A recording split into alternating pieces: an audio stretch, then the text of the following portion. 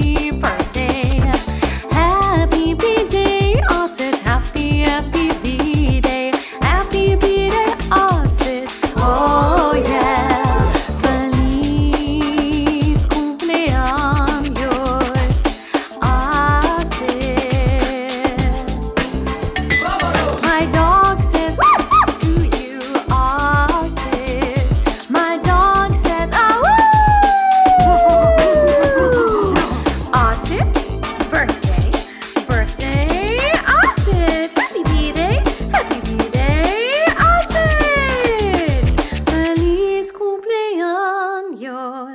faucet, yeah. One happy birthday dot com.